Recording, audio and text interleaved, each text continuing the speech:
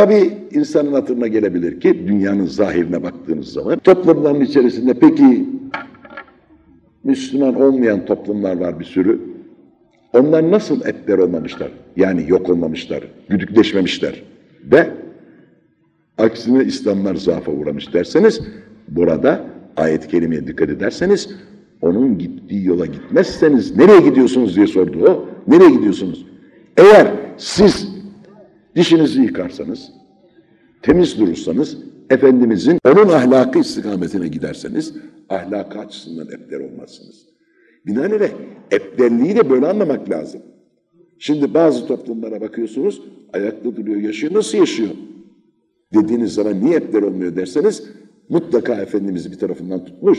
Farkında olup olmamak önemli değil. Efendimiz bir tarafından tutmuş, öyle ayakta duruyor. Şimdi bilmeden spor yapıyor. Efendimiz de emretmiş. Onun için sağlığı ayakta. Bilmeden Efendimizin emri olduğunu bilmeden dişini fırçalıyor. Onun için ağız sağlığı ayakta duruyor. Efendimizin şartlarını tam uygulamamış bile olsa yemek yerken canım sıkkın şimdi yemek yemeyeyim diyor. Mide ülseri olmuyor. Binaenle mide ülseri açısından eplerlik hadisesinden kurtulmuş oluyor. Mutlaka tetkik ediniz. Bakınız yaşayan, canlı olan zümrelerin e, varlıkları Efendimiz'den aldığı bir uygulamayı yaptığından dolayıdır. Ve e, bir temiz kent gördüğünüz zaman o temiz kentte yaşayan insanlar etlerleşmemiş, yok olmamışlarsa Efendimiz'in temizlik emrini uyguladıkları içindir. Alem İslam'da da kalkıp Efendimiz'in temizlik emrini uygulamıyorsa onun kenti de epler olmuş, çöplüğe dönmüş. Binaenle Efendimiz'i seyrederken alıp cebinize koyarak seyretmeyiniz. Ve ma ersennâke illa rahmeten lil alemin. Biz seni alemlere rahmet olarak gönderdik. Emri cümlesi içerisinde tetkik Efendimizin emrettiklerini kim uygularsa o sahada epterlikten kurtulur. Ama bir temel epterlik vardır ki bütün dünyanın içerisinde insan toplulukları isteseler de istemeseler de bir epter, epterlik belasını bekler. İçki içmeyin demiş. Ben içerim efendim medeni insan içer. İç gör kılını. Kılını göreceksin. Neden? Bugün batının başta Amerika olmak üzere en büyük problemi içkidir. En büyük problemi içkidir ve bu belayı sıyıramazsa batar. İstediği kadar medeniyet kursun, istediği kadar uçak uçursun, istediği kadar teknoloji geliştirsin, alkol meselesini halledemezse batı batar. Buna inanmaz. Şimdi şimdiye kadar mesela birçoklarının hatırına geliyor. Ta adamlar 500 senedir, 1000 senedir bildik bileli içki içiyorlar batmamışlar da şimdi batarlar, şimdi batarlar. Neden biliyor musunuz? Birincisi içki içmelerinin dozu başkaydı. Bir bardak şarap içerdi. Zaten elinde o kadar parası vardı. Ondan yürürdü. Yalnız o günlük cemiyetin içerisindeki itibarını yitmekten ibaret gelirdi. İkincisi gruplar halinde şiddetli alkol furyasına tabi değillerdi. Bugün bakıyorsunuz batıda bütün gençlik genç yaşında alkolik hale gelmiştir. Böyle bir dairenin hızla dönmesinin sebebi de emri ilahiye karşı gelmeleridir. Efendim ne olacak bir kadeh içeriz bir şey olmaz. Bak bakalım bir kadeh iç bir şey oluyor mu? Bir kuşak attı mıydı? Gelen kuşağın serhoş olur. Bir kuşak daha attı mıydı? Alkolik olur. Çünkü serhoş başka, alkol kullanmak başka, alkolik olmak başka. Şimdi bugün Batı'nın en büyük derdi alkolizmdir. Ve bunun da içinden çıkamaz. Fey eyne tesebuna gitmiştir. Terk etmiştir. Git, gitmeyin diyor, ilmi gösteren burada diyor. Dünyaya ışık tutan burada nereye gidiyorsunuz diyor insan onunla. Hayır ben için buyur öylesi diyor. Nereye gittiğini gör. Bugün yapılan teşhisleri ben de kendi gözümle de gördüm birçok yerlerde. İsveç'te, Almanya'da, Belçika'da, Hollanda'da, İsviçre'de, Fransa'da işsizlik sigortası dolayısıyla paralan adamlar ellerinde şarap şişeleriyle fabrikanın önünde duruyor. Fabrikada çalışan işçiyle alay ediyor. Alay diyor sen çalıştın bak diyor ben diyor çalışmadım senin kadar para aldım diyor. Böyle kafa çekiyorum diyor. Ve bu öyle yaygınlaşmış durumdadır ki çalışacak adam bulamaz bir kuşak sonra.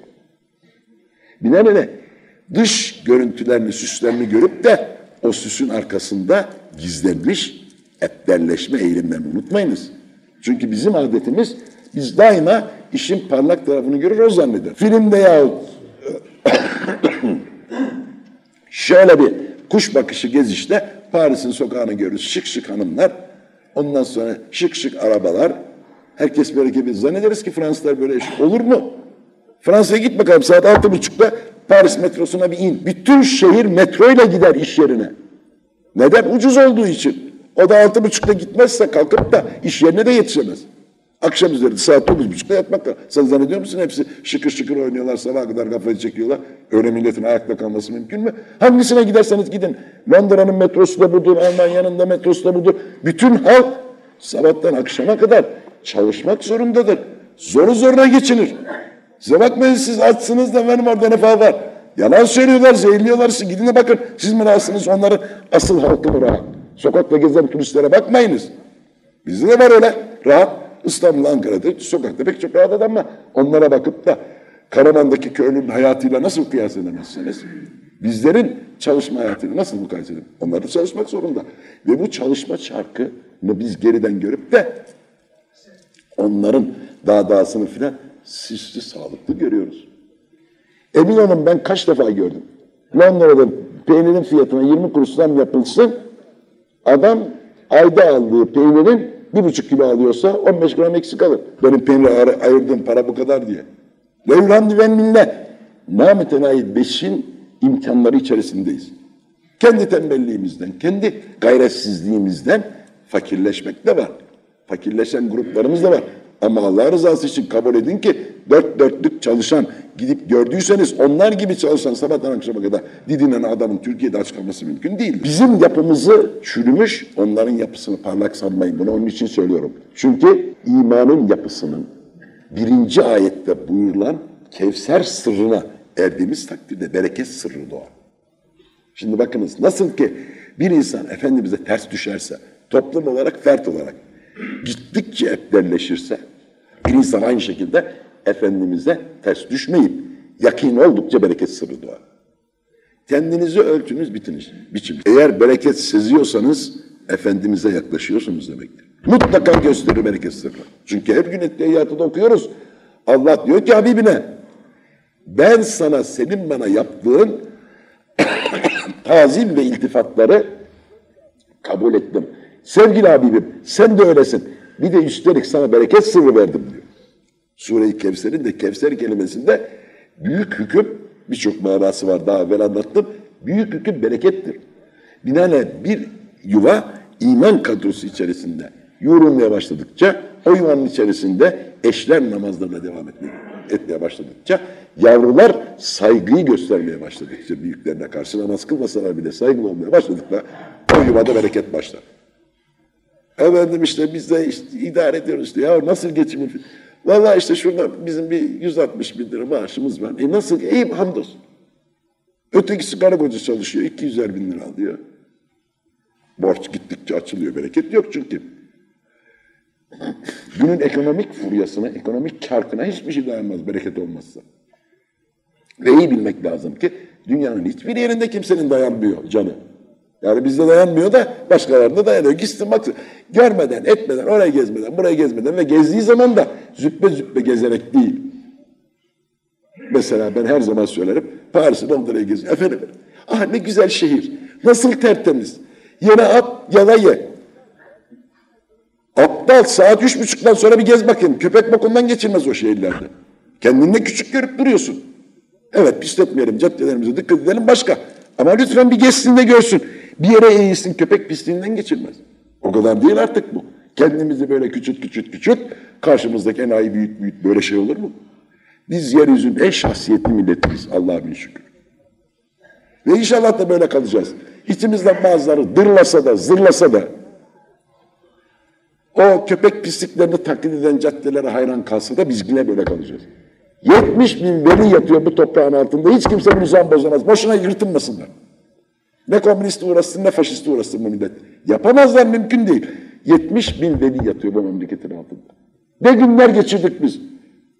Hiçbir şey olmadı yine de olmaz. Ama biz bilhassa siz yeni yetişen gençler Allah rızası için şahsiyetinizi bilin ya. Uydurmasyon laflara, palavrasyon, e, başka milletlere hayranlıkları terk edin. Kendi şahsiyetinizi bugünün teknolojisini, bugünün kazanç sistemini en iyi icra edecek şekilde kullanın. Ama Allah rızası için başkalarını Körü körüne. Efendim içki içmesi nedeni olmamış. Allah belanı versin. Yarın görürsün sen o içkiden dolayı meydana gelecek hadiseleri. Kızının oğlunun başına çeşitli felaketler gelince ondan sonra ağlıyorsun. Hatta utanmasın acaba anama gidip dua edeceğim. Allah hepimizi Kevser'den doğan bereketle müşerref kılsın. Ebdellikten uzak tutsun bizi. Allah şefaati Resulullah'ın mutlaka hepimize tecelli etmesini nasip etsin. Ama aklımızı başımıza toplayalım. Efendimiz'e karşı hem saygıda kusur etmeyelim hem kim kimseyi saygısızlıkta müsamaha etmeyelim.